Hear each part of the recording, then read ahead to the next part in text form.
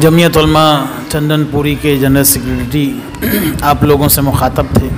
अब मैं सदर मजलिस, जमीयत उलमा ज़िला नासिक के सदर मोहतरम हज़रत मौलाना अब्दुल कय्यूम साहब कासमी को जहमत दे रहा हूँ कि आप तशरीफ़ लाएँ। इसलिए कि जनाब अलहाज गुलजार आज़मी साहब के साथ मौलाना अब्दुल कय्यूम साहब ने लंबा अरसा गुजारा है। उनकी खिदमत उनकी जिद्दोजहद मौलाना अब्दुल कय्यूम साहब बहुत अच्छी तरीके से और करीब से भी जानते हैं। हम उनसे सुनेंगे, उनकी क्या खिदमत हैं और सदर मोहतरम अपना ख़ुतब सदारत पेश करवाएँगे हज़रत मौलाना अब्दुल कय्यूम साहब का। बसमीम नहमद नसली रसूल करीम। अम्माबाद क़ाल अल्लाह ताला फ़िल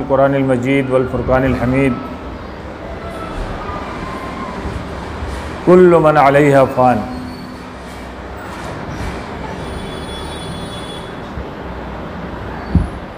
मुख्तलिफ़ अदारों और तंजीमों से आए हुए आज के इस ताज़ती नशस्त में शिरकत करने वाले कराम दानश्वरान कौम मिलत नौजवानों, बुज़ुर्गों और प्यारे बच्चों। गुलजार अहमद आज़मी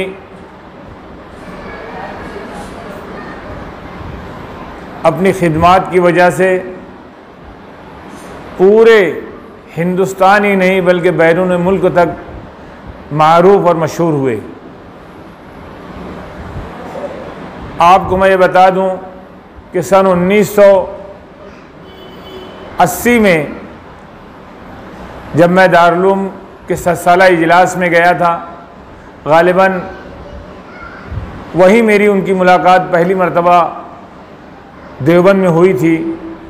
और उसके बाद वालद मोहतरम हज़रत मौलाना अब्दुल कादिर साहब अलैह, सदर जमीत मालेगांव, वरुक नशूरा दारुल देवबंद, इनके साथ मैं जब भी मजलिस आमला की मीटिंगों में जाया करता था तो गुलजार भाई नज़र आया करते थे। मैं उनको गुलजार भाई ही कहता हूँ, आज तक सारे मामला गुलजार भाई के ज़रिए बोलकर ही हल किए गए। गुलजार भाई इखलास और इस्तकामत के अजीम पहाड़ थे। लालच नाम की उनके दिल के अंदर कोई चीज़ नहीं थी। इतनी लंबी मुद्दत के अंदर कभी भी हमने नहीं देखा कि उन्होंने कभी किसी चीज़ का हमसे मुतालबा किया हो। अलबत्ता एक मरतबा वो कलकत्ता से सफ़र पर वापस हो रहे थे। तो उन्होंने मुझे फ़ोन किया कि कई रोज़ से जो है, लजीज और मज़ेदार खाना हम लोगों को नहीं मिला है सफ़र की वजह से। इसलिए मनमाड़ ट्रेन में हम लोग फला वक्त तो पहुँचेंगे मनमाड़ ट्रेन के ज़रिए, इस डब्बे में हम लोग बैठे हैं। तुम ज़रा कीमा रोटी बना कर ले आना। मैं लेकर गया, ये शर्फ मुझे हासिल हुआ।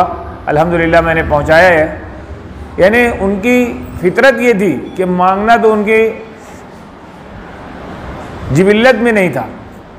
आज भी उनके इंतकाल के बाद जब उनकी मैयत कमरे में रखी गई उनके मकान के पास, उनके घर में तो लोगों की आँखों में आँसू आ गए कि एक झोपड़ी नुमा मकान में वो रहते थे। जबकि जमीत रेली फाउंडेशन जमीत हलाल फाउंडेशन जमीत के दीगर अदारे मुफ्ती कफ़ैतुल्ला रहमतुल्लाह एजुकेशनल ट्रस्ट, इन तमाम ट्रस्ट के वो मालिक थे, अकेले मालिक थे।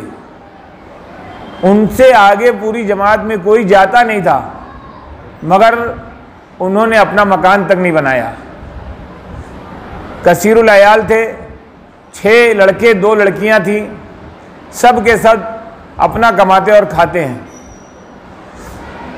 कल हज हाउस के अंदर महाराष्ट्र जमत की नशिस्त थी और उसके अंदर लोगों ने जो बातें कही, मैं उसी को दोहराना चाहता हूँ।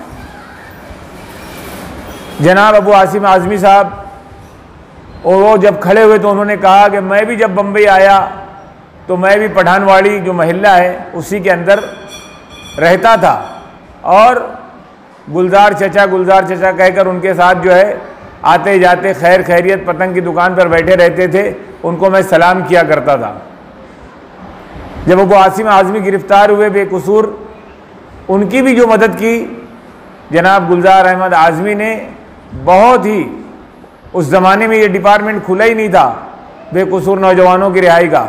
मगर गुलजार आज़मी के लिए जो कुर्बानी और जो रास्ता इख्तियार किया गया था, खुद अबू आसिम आज़मी साहब ने ये बातें कही हैं। मौलाना महमूद दरियाबादी तशरीफ़ लाए थे उन्होंने उनके बारे में जो मुरासला लिखा है, आप लोगों ने व्हाट्सएप पर पढ़ा होगा, अखबार में भी छपा है, उन्होंने यही कहा कि अजिया अजब मर्द था। बम्बई के अंदर खिदमत खल्क के साथ साथ पंचायत का काम भी ये लोग किया करते थे। यहाँ तक के दो फिरकों के अंदर मस्जिदों का झगड़ा हो जाता था, तब भी गुलजार आजमी साहब आगे आया करते थे, और जिसकी गलती हुआ करती थी बिल्कुल उसके मुँह पर, वो कितना ही बड़ा आदमी हो, उसके मुँह पर कहा करते थे। और सच्चे के साथी हो जाया करते थे। मौलाना महमूद दरियाबादी साहब ने बताया कि एक मरतबा महाराष्ट्र में फसादात का एक सिलसिला शुरू हुआ। वज़ीर अला से मिलने की बात थी तो हम लोगों ने गुलजार भाई को कहा कि चलें, आपकी क़्यादत में चलते हैं।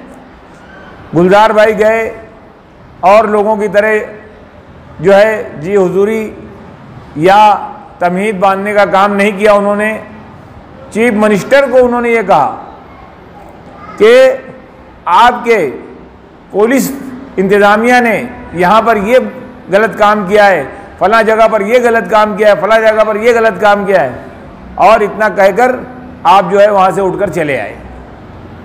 ऑफिसरों से बात करने का अंदाज़ा बहुत ही सख्त हुआ करता था, मगर हमत अमली से पुर हुआ करता था। ये नहीं कि काम को जो है बिगाड़ दिया जाए। नहीं, काम को बनाने के लिए हमत अमली से बात किया करते थे। मालेगांव बम ब्लास्ट 2006 बहुत से लोगों को नहीं मालूम है 2007 और 2008 भी सबको मालूम है। छः का बम ब्लास्ट कब्रस्तान मुशावरत चौक में हुआ था। सात का बम ब्लास्ट जो है सिंडिकेट बैंक के पास हुआ था, हिंदू बस्ती में हुआ था, जिसमें सात बच्चे जख्मी हुए थे, एक एक बच्चे की आँख बह गई थी।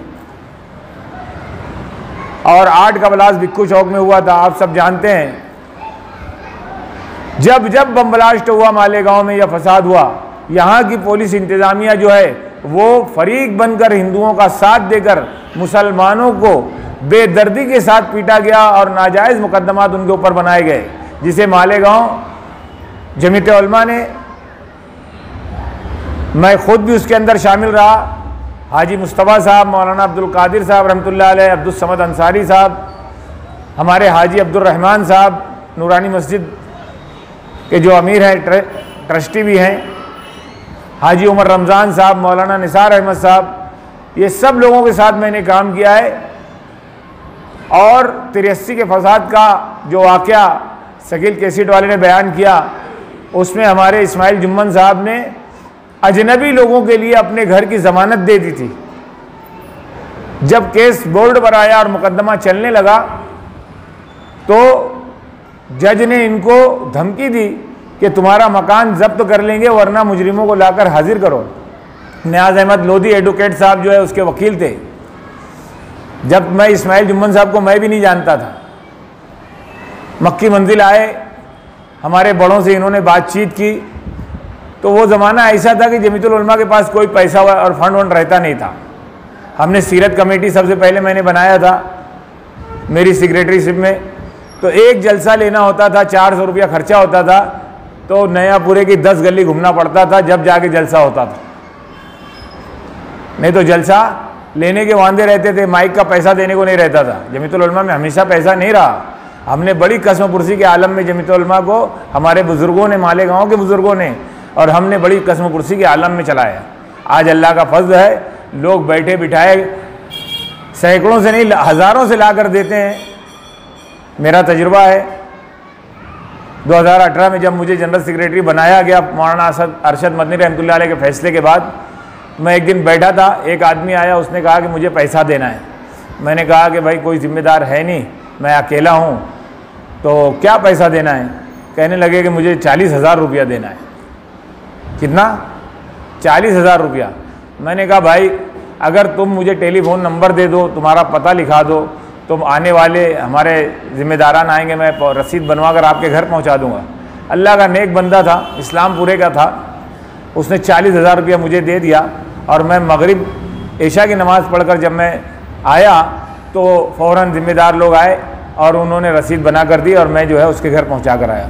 तो आज ये हाल है। हमारे जमीत गुलजार आज़मी साहब और मौलाना अरशद मदनी साहब के काम को देखकर लोग इस कदर रकम और मदद कर रहे हैं जमीत की, जिसमें आप लोग भी शामिल हैं। आपकी मस्जिद में भी जमीत का चंदा होता है और पूरा शहर अलहमदिल्ला देता है जमीत को चंदा।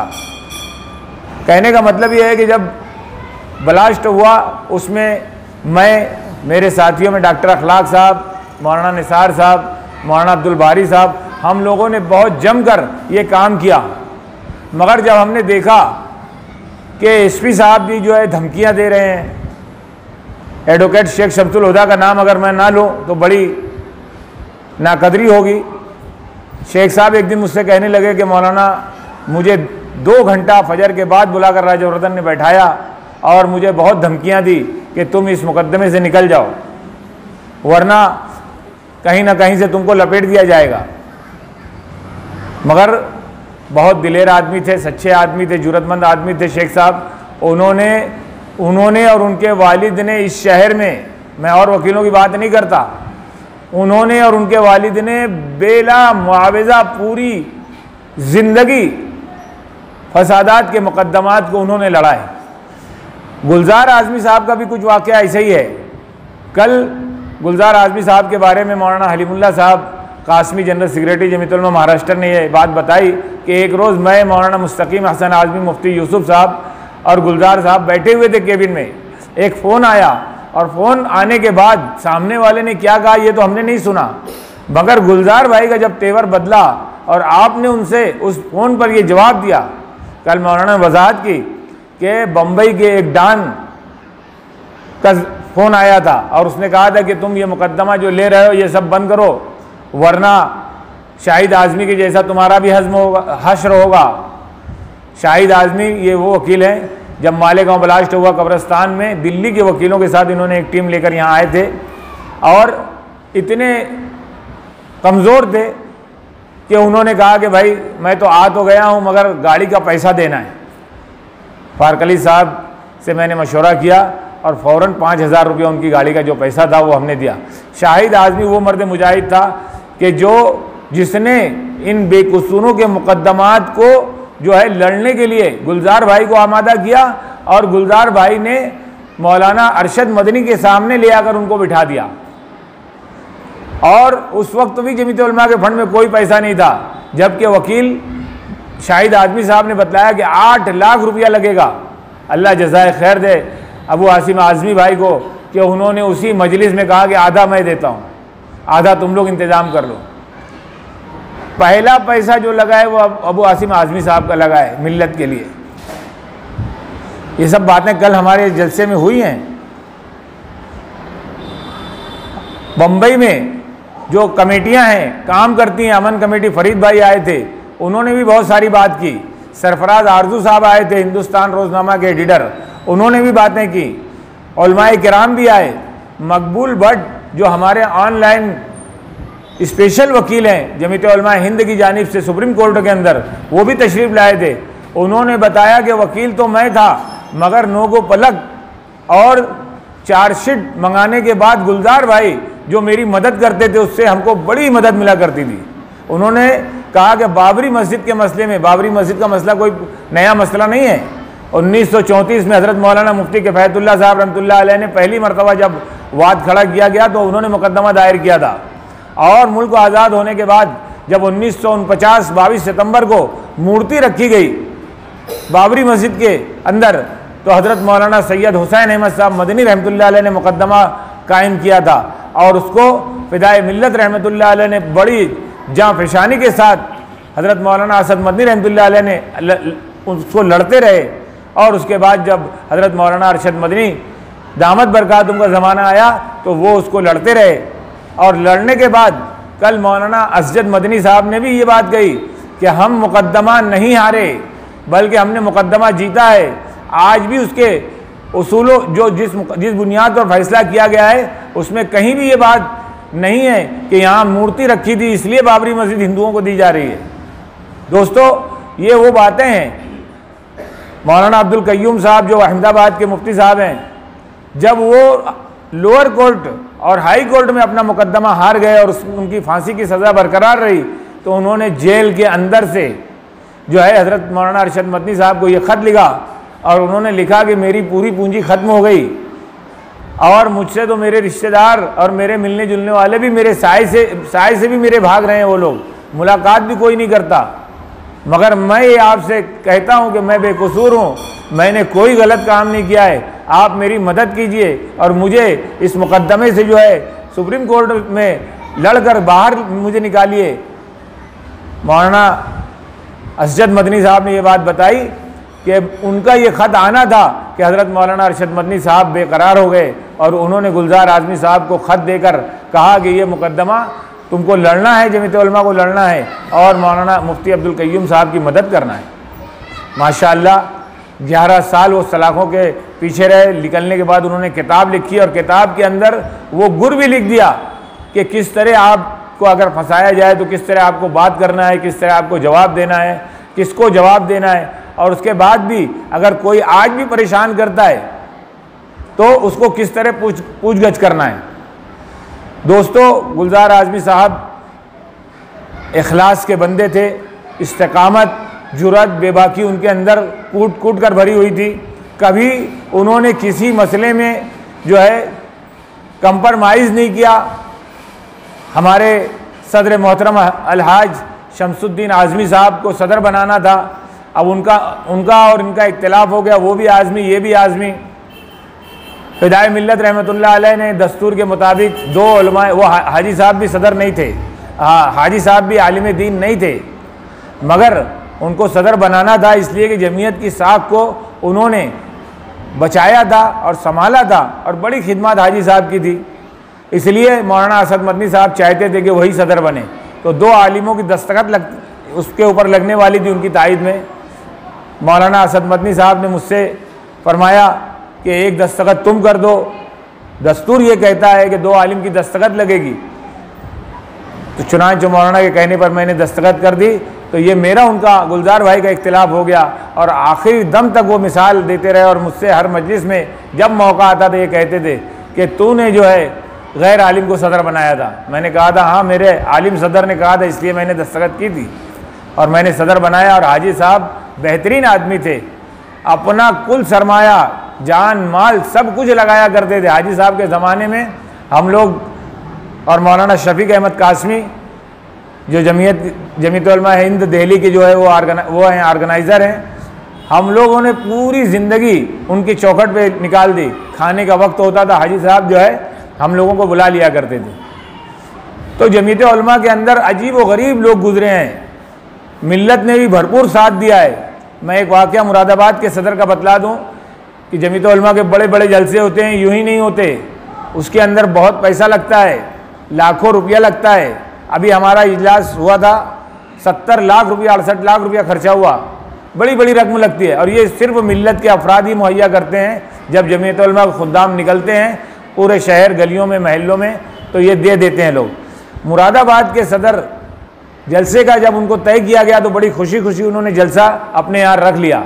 अब क्या था जलसा जब लग, लगता है जैसे शादी होती है ना तो रोज़ाना दो चार गली महल्ले के लोग रिश्तेदार आना जाना शुरू करते हैं। जब जब तक शादी ख़त्म नहीं होती जब तक लोग आते हैं शादी ख़त्म होने के बाद कोई नहीं आता।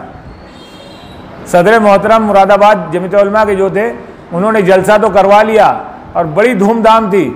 उनके घर में उनकी अहलिया भी बहुत खुश रहती थी कि इतने लोग आज हमारे घर आ रहे हैं। मगर जब जलसा ख़त्म हुआ और लोगों का पैसा बाकी था तो अब हमारे सदर मोहतरम की जो है तबीयत बिगड़ी कि पैसा कहाँ से आएगा। मगर जमीत जमीत के ख़ुदाम की बीवियाँ भी ऐसी होती हैं जो उनकी पूरी मदद करते हैं। हम लोग जो है रात दिन सफ़र करते हैं, इधर जाते उधर जाते हैं तो हमारा घर नहीं है। हमारा घर है, हमारे बाल बच्चे हैं, हमारा कारोबार है, सब कुछ है। मगर हमारे घर में हमारी बीवियाँ हमारी मदद करती हैं। हमारा काम हमारे पीछे संभाल लेती हैं हमारे बच्चों की निगरानी करती हैं हमारे घर की फ़िक्र करती हैं। चुनाच मुरादाबाद के सदर मोहतरम की बीवी ने उनसे पूछा कि हज़रत क्या बात है? कल तक तो बड़े खुश नज़र आ रहे थे आज, आज परेशानी का आलम है। कहा कि क्या बताऊँ बेगम पैसा नहीं है लोगों का कर्ज बाकी है अभी पंडाल वाला अलग है माइक वाला अलग है सबको देना लेना है। बीवी ने अपना जेवर उतारा और सब अपने शोहर को दे दिया और कहा कि ये इसको बेच डालो और लोगों का पैसा दे दो। बहुत अजीब तरीके से दीन की खिदमत होती है। अल्लाह जिससे चाहता है उसी से लेता है। सबके बस की बात नहीं है ये। अल्लाह का शुक्र एहसान है कि इतना दिन गुजर गया। आज जमीत में आए हुए मुझे तेरे चालीस साल हो गया। अल्लाह का फजल करम है कि हम अपने पैसों से सफ़र करते थे, अपने पैसों से दफ्तर में लोगों को चाय पिलाते थे, नाश्ता कराते थे और खिदमत खल्क करते रहते थे दीवानों की तरह। कितने वाक़ात हैं जो आपके सामने हम गिना नहीं सकते।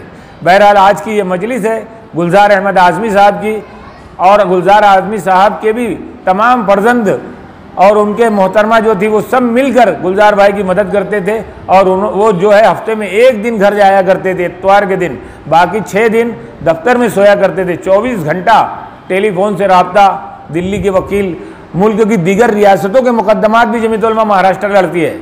चाहे बिहार का हो, चाहे गुजरात का हो, चाहे राजस्थान का हो, चाहे जहाँ का हो, बंगाल का हो, कश्मीर का हो जहाँ का भी मुकदमा हो जमीत महाराष्ट्र लड़ती थी और गुलजार भाई तने तना तमाम लोगों से गुफ्तु करते थे और मुकदमे के नो को पलक पलक को संवारा करते थे, जिसका मैंने आपको तस्करा किया। अब्दुल वहाब सर भी कल आए थे, जो बम्बई हाई कोर्ट में जमीत का मुकदमा लड़ते हैं, मालेगांव ब्लास्ट का सब मुकदमा उन्होंने लड़ा है। वो भी बड़ी तफसील से गुलजार भाई के बारे में बताया कि बहुत ही याददाश्त भी अल्लाह ने बहुत अता फरमाई थी। जिस दिन गिरे हैं, बस उसी दिन से काम बंद हुआ है। उससे पहले इतने हाजिर जवाब थे कि पूछो मत। पूरे आने वाले मेहमानों की निगरानी करते थे, दफ्तर में कौन आया, कौन चाय पिया, कौन खाना खाया, नहीं खाया। यहाँ तक के जो मजलूम आते थे और उनके रिश्तेदार आते थे, उन लोगों की भी गुलजार भाई जो है फ़िक्र किया करते थे, उनके हाथ में पूरा निज़ाम था। आज वो मजलूम जिनको गुलजार भाई ने फांसी के फंदों से छुड़ाया है और मुकदमात से बाहर निकाला है मैंने देखा कि बड़ी तादाद में उनके घर, अहल आयाल के लोग जो है, आए हुए थे, उनके जनाजे में शरीक थे। दोस्तों, अल्लाह रब्बुल इज़्ज़त से दुआ है कि अल्लाह ताला हमको जनाब गुलजार अहमद साहब आज़मी के नक्श कदम पर चलने की तोफ़ी अता फ़रमाए और उनके जैसा अखलास अता फ़रमाए, उनके जैसा अमानत हमको अता फ़रमाए। कल एक तजवीज़ आई थी तो आज उस तजवीज़ को मैं भी यहाँ पेश कर रहा हूँ, चूँकि ये जमीतुलमा ज़िला नासिक का ताज़ती इजलास है। उसमें ये बात आई थी कि करोड़ों रुपया मुकदमात पर खर्च करने वाला मर्द मुजाहिद, कभी एक पैसे का, यानी पैसों के समुंदर में रहने वाला आदमी जो है, उसका एक छींटा भी अपने दामन पर नहीं आने दिया। ये सरफराज आरज़ू साहब का जुमला था। और उन्होंने ही ये बात कही थी कि मैं चाहता हूँ कि गुलजार आज़मी साहब को अमीन मिलत का खिताब दिया जाए। मैं भी जमीतुलमा ज़िला नासिक की तमाम यूनिटों और हाजरीन से ये गुजारिश करता हूँ कि हमारी मजलिस में ये तजवीज़ पास की जाए और आपको अमीन मिलत का खिताब दिया जाए। काम करने वालों के ऊपर तहमतें तो लगती हैं, धब्बे तो लगते हैं, लोगों के ज़बान पे जो आता है, वो बोल देते हैं, मगर कल आखरत में जो है लोगों को जवाब देना पड़ेगा। चाहे वो मस्जिद के ट्रस्टी हों, चाहे मदरसे के मुतवली हों, चाहे छोटे बड़े तंजीम के ज़िम्मेदार हों, सबको बातें सुनना पड़ती हैं, काम भी करना पड़ता है। इसलिए हमको चाहिए कि हम किसी के बारे में बोलने से पहले तहकीक कर लें। तहकीक में जो बात सच है वही बोलें, वरना खामोश है इसमें नजात है। और अगर खामोश नहीं रहेंगे तो कल जवाबदेही हमारे ऊपर है। आगे बढ़कर मिल्लत का काम करना चाहिए। अल्लाह ने अगर किसी को किसी मकाम पर कोई अहदा दिया है तो ये अल्लाह की नेमत समझ कर उसको कबूल करना चाहिए। और जिस दिन अपने बस में नहीं रहे, अपने साथियों के साथ बैठ कर उनको जो है उसके हवाले कर देना चाहिए। लेकर पकड़ कर बैठे नहीं रहना चाहिए कि लोग गलत भी बोलते रहें, तोहमत भी लगाते रहें और हम बैठे रहें। ये ये मिल्लत का काम इसी तरह चलता है और इन चलता रहेगा। अल्लाह ताला जिसको कबूल कर ले, वो खुश नसीब है। जनाब गुलजार अहमद आज़मी साहब की अल्लाह करवट करवट मफ़रत फरमाए, उनको जन्नतफरदौस में आला मकाम अता फ़रमाए। जमीयत और उम्मत मुसलमा के तमाम लोगों को मैं जमीयत ज़िला नासिक की तरफ़ से जो है ताज़ियत मसनूना पेश करता हूँ। अल्लाह ताला उनकी हर हाल में मफ़रत फरमाए, उनके सयाद को अल्लाह ताला माफ़ फरमाए। व आखिर दावान अलहमदिल्ला रबीआलमी